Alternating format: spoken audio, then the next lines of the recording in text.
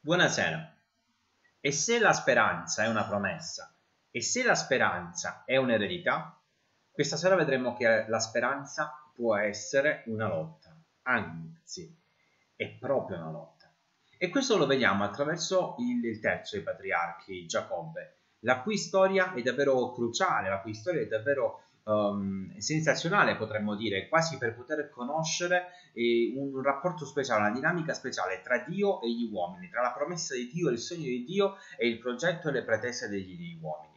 E proprio in questo rapporto così tra Dio e Giacobbe si instaura questo terzo aspetto della speranza.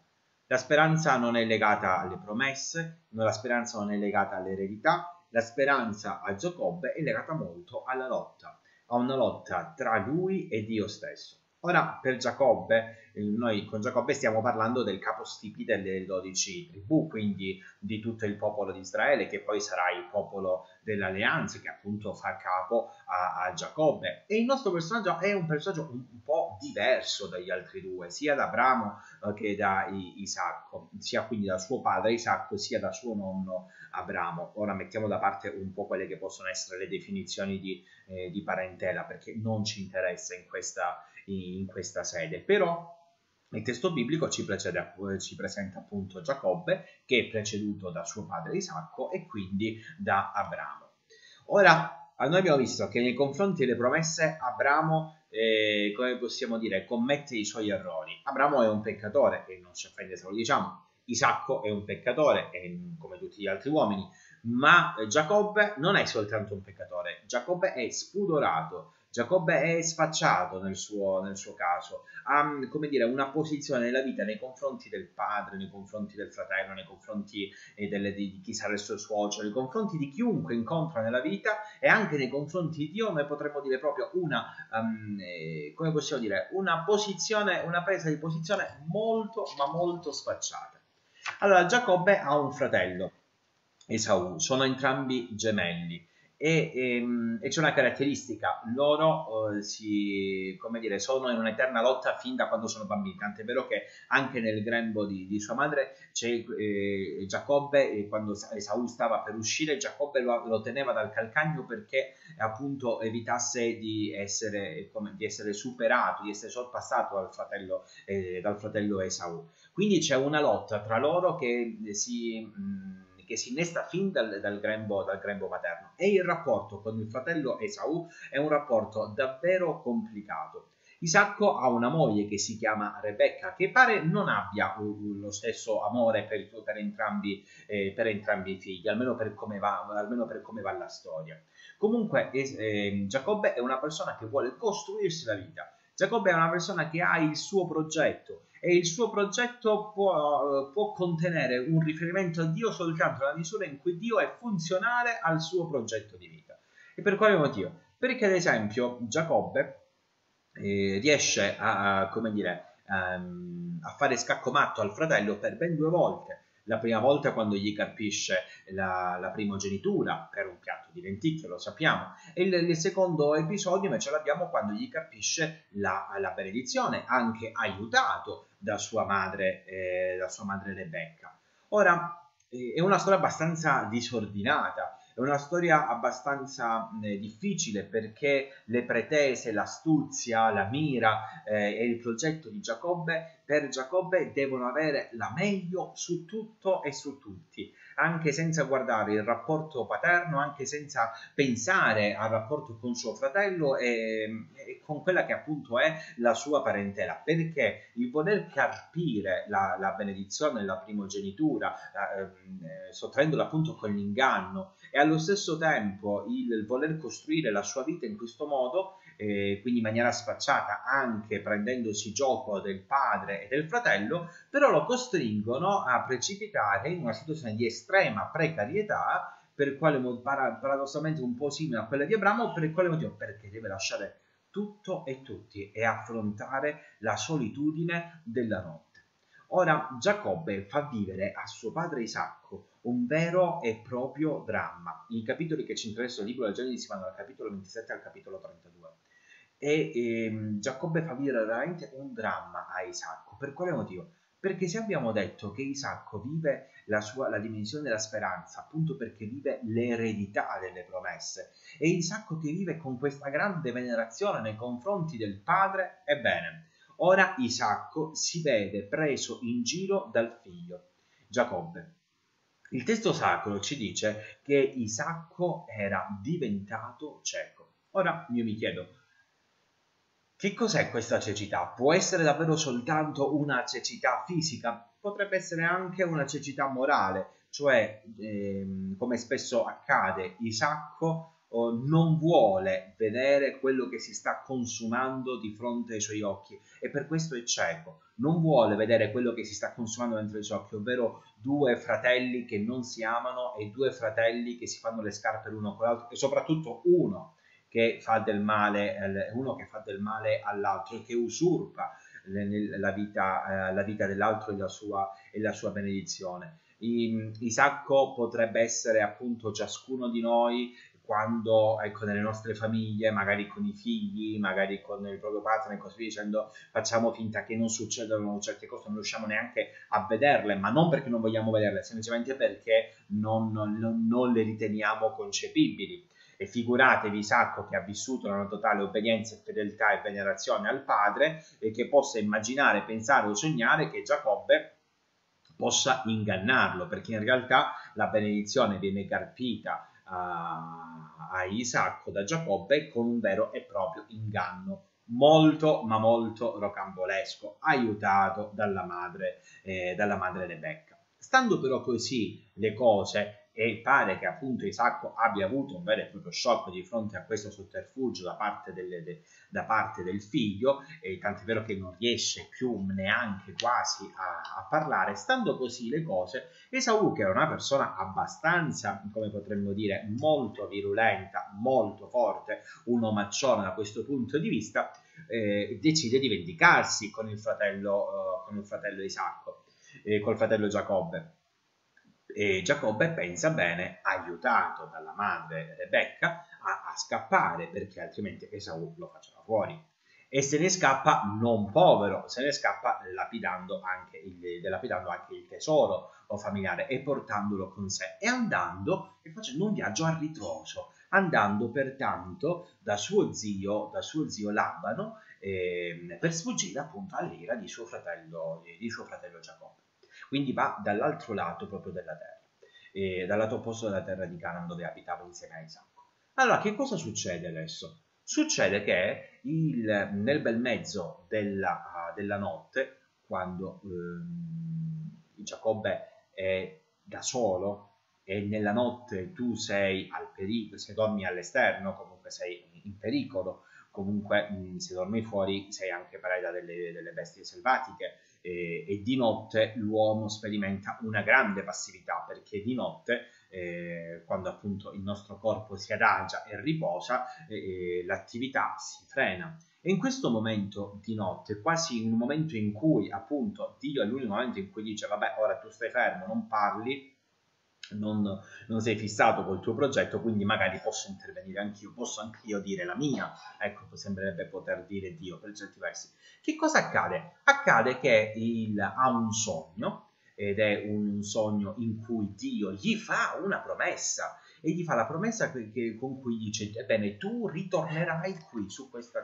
bene, tu ritornerai qui su questa, uh, su questa terra lui si sveglia, eh, Giacobbe si sveglia e dice qui viene Dio e io non, non, lo sapevo. È interessante però come eh, parla uh, Dio a, a, Giacobbe, perché non gli dice io sono il tuo Dio, gli dice io sono il Dio di tuo nonno praticamente, io sono il Dio di tuo padre. E, ehm, e si fa questa presentazione, sono il Dio di Abramo, il Dio di Isacco, quindi quasi vuol dire, cioè tu ancora come non hai avuto molto a che fare, quindi fondamentalmente tu di me, dice Dio a Giacobbe, non sai quasi un, un bel niente. Allora tu adesso però stai scappando, però sappi che ritornerai qui. Giacobbe, che riceve questo bellissimo, uh, bellissimo sogno, in realtà di fronte a questo sogno lo interpreta alla luce del suo progetto e del suo progetto di uomo un progetto di uomo che comunque vuole avere successo, un progetto di uomo di un uomo che vuole conquistare il mondo, il mondo intero, solo se eh, solo se potesse. Eppure questo sogno resta sedimentato nel suo cuore e sarà il motivo della sua grande inquietudine. Allora Giacobbe di fronte a questo sogno appena si alza dice certo il Signore è in questo luogo e io non lo sapevo. Allora dice quanto è terribile questo luogo, questa è proprio la casa di Dio, questa è la porta del cielo. E Giacobbe cosa fa? Di fronte a questo dono cerca di conquistarlo e com'è che lo conquista? Si fa lui un rito perché prende questa pietra, la unge, fa un rito abbastanza, potremmo dire, eh, superstizioso e fa un voto, no? eh, dove dice concretamente a Dio, bene, se Dio sarà con me e mi proteggerà in questo viaggio che sto facendo e darò pane e mi darà pane per mangiare e vestiti per coprirmi e se ritornerò sano e salvo alla casa di mio padre, il Signore sarà il mio Dio. Molto bello come preghiera, no? Cioè dire, ok Signore, io crederò in te, tu sarai il mio Dio, bene, se fai questo, questo, questo e questo, un, potremmo dire, un contratto prematrimoniale molto ben definito e serrato. Ed è un voto fatto da uno che effettivamente ha capito poco o nulla di Dio. Per quale motivo? Perché la logica di Dio non è la logica del commercio, la, logica di, la dinamica, la logica di Dio è la logica dell'amore e pertanto della gratuità. E allora è come se Giacobbe dicesse, bene, Dio, se tu sarai bravo e buono con me, allora sì, pur certo che io ti premierò. E ti premierò in che modo? Ti farò entrare nella casa mia e tu, casa mia, tu sarai perfettamente il mio Dio. Ma solo se farai il bravo con me. E quindi se mi darai da mangiare, se mi potrò vestire e se tu mi permetterai di tornare sano e salvo a casa mia.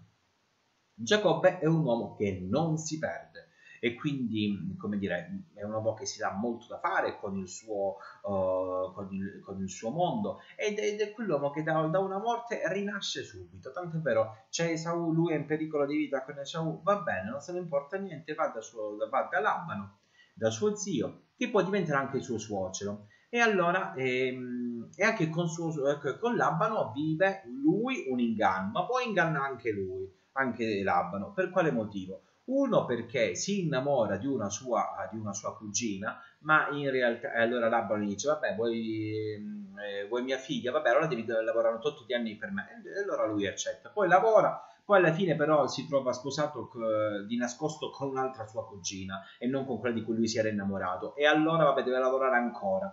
Però alla fine arriva a ciò che lui vuole Ecco, questa è la cosa importante di Giacobbe. Giacobbe arriva sempre al suo obiettivo, ma non ci arriva sempre con mezzi no, ottimali. È vero che poi, tra virgolette, eh, trovandosi boicottato e preso in giro da Labano, poi sarà lui a prenderlo in giro, perché quando infatti si tratta di far aumentare il patrimonio, arriva a un accordo con il suo socio e dice guarda, gli animali che nascono ecco, in questo modo, cioè con delle, delle macchie, saranno tuoi, quelli invece che nascono il, con quest'altro colore invece saranno le mie, benissimo. Allora, tant'è vero che eh, Giacobbe, che è un ottimo e grande allevatore, farà in modo da accoppiare gli animali di modo che quelle capre del suo colore siano di più di quelle di, di Labano.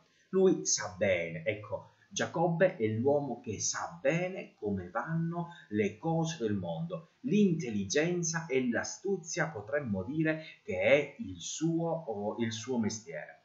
Bene, Labano, eh, cioè eh, Giacobbe si è costruito la sua vita, si è costruito il suo progetto, ha le sue risorse, ha, ha, ha sua, le sue mogli, ha i suoi figli, eh, ha le sue ricchezze, non gli manca nulla. È rimasta per lui l'inquietudine però. È rimasta però per lui l'inquietudine di quel sogno. Tu ritornerai qui nella tua terra. E questa inquietudine è qualcosa che lo spinge allora a ritornare. Giacobbe non potremmo dire che non è per niente un uomo di preghiera, tant'è vero che non sembra in tutta la sua vita non ha avuto molto a che fare con il, il Signore, almeno per come la narrazione biblica ce ne parla in questi, in questi termini. E anche lui ha impostato la sua vita di conseguenza, cioè come un uomo che non ha avuto molto a che fare con Dio, è soprattutto come un uomo che ha ricercato, l'ho detto anche poc'anzi, il suo, uh, il suo progetto, cioè se tu imposti la tua vita con questi criteri, tu con questi criteri poi te la, um, te, te la ritrovi, è l'uomo che quando ha potuto imbrogliare ha imbrogliato, è l'uomo che ha continuato a imbrogliare, se è stato imbrogliato lui ha imbrogliato il doppio un altro, quindi sinceramente è un uomo Giacobbe che sa benissimo come sono andate le cose nel, nel mondo. Allora uno dice, ma possibile che Dio debba promettere qualche cosa a un imbroglione di questo genere? Il, il sogno che era rimasto in lui come un'inquietudine era proprio questo.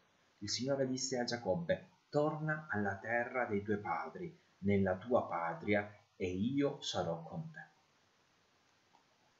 Giacobbe si decide e decide di ritornare nella sua terra. Siamo già il capitolo 32 del libro della Genesi. Si, si, decide di ritornare nella sua terra.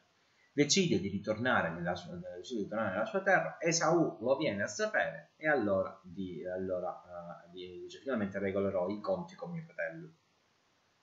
Esaù lo viene a sapere, si arma contro suo fratello. Giacobbe pensa bene di mandare avanti doni a non finire, appunto per placare suo, suo fratello. Ma la cosa bella di, che poi diventerà il punto di svolta della vita di Giacobbe è un'altra notte. È la notte in cui eh, Giacobbe, adesso non più in sogno, ma Giacobbe lotta e lotta con il Signore. Lotta con il Signore e resta ferito, ferito al nervo sciatico, resta ferito e, e, ehm, e in questa lotta eh, dove appunto è abbastanza cambolesca, dove non sa chi vince o chi perde, però poi in fin dei conti sembra, sembra Giacobbe che eh, in alcuni momenti sembra che Giacobbe stia vincendo, in altri momenti invece è questa presenza misteriosa che poi è il Signore, però poi alla fine questo ci interessa, che Giacobbe si aggrappa a colui con cui sta lottando. Ecco la bellezza della lotta con Dio. Cioè tu stai lottando con Dio e ti aggrappi a Lui. Allora, non potremmo prendere il brano per come dire, commentarlo con esattezza, quindi è una lettura anche, potremmo dire, bene o male, che presuppone già una lettura di questi, di questi brani. Quello che ci interessa però per il, nostro, per il nostro discorso è che dopo aver lottato, Giacobbe si aggrappa alla persona con cui ha lottato. Se io ho lottato, subito mi scavento fuori e lontano chi, eh, colui con cui ho lottato, non, sto, non me lo tengo stretto.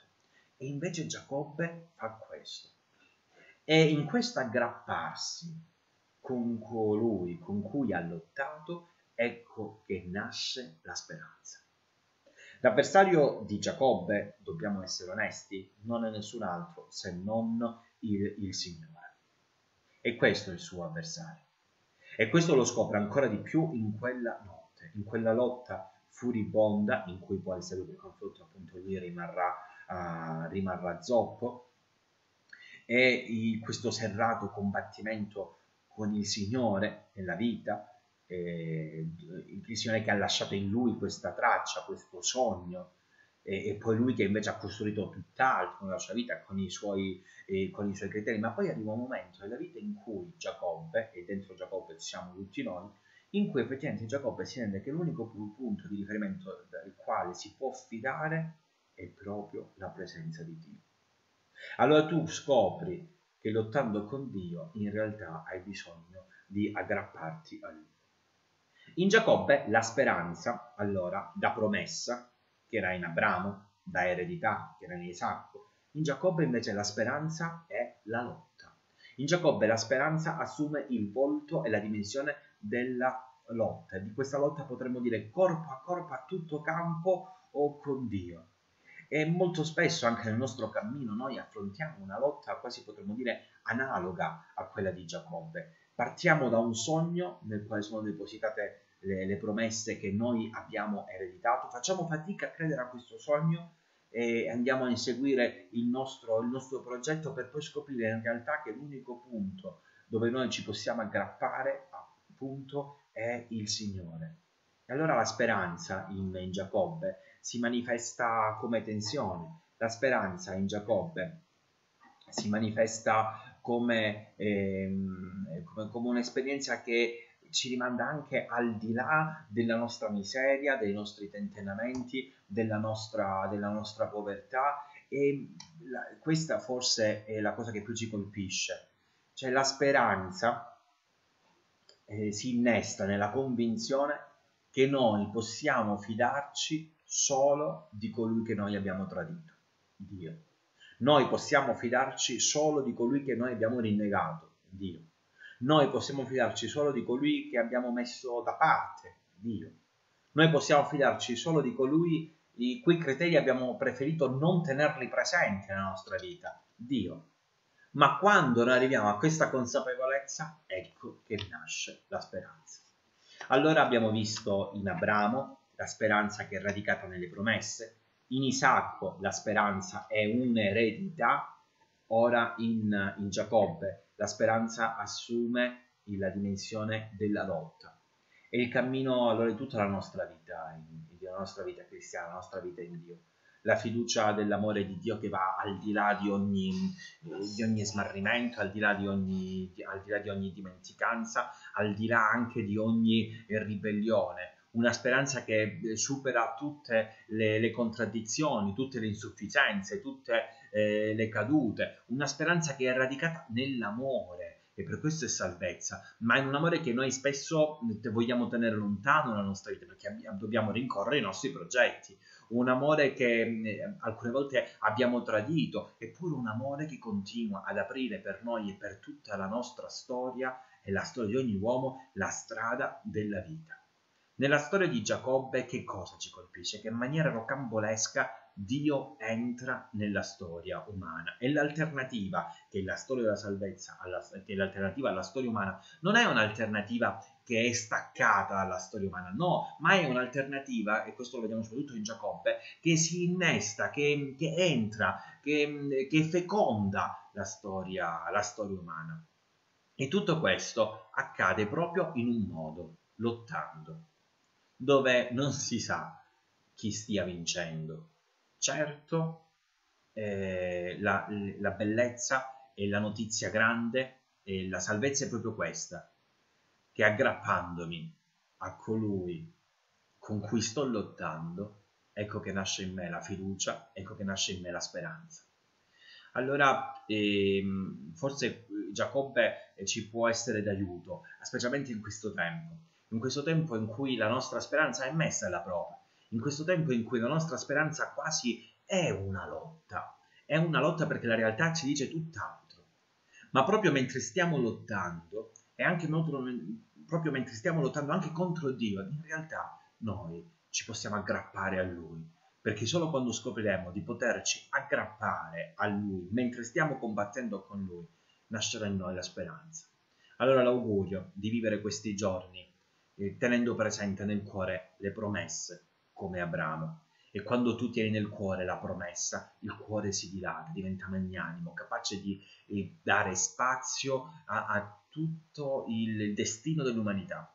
Una promessa che diventa una, una promessa che diventa eredità. Sì, perché noi questa speranza non l'abbiamo ricevuta come la chimera del futuro che non verrà mai, noi questa speranza l'abbiamo ricevuta come un'eredità, cioè come qualcosa che qualcuno ha preparato per noi prima di noi questo non lo riceviamo appunto nel battesimo. Ma questa speranza diventa viva, diventa carne, in che modo? Nella lotta che tu tutti i giorni porti avanti, nella lotta che persino noi portiamo avanti con Dio, perché nella lotta, come Giacobbe, impariamo una cosa fondamentale, che nella lotta dobbiamo aggrapparci a Dio.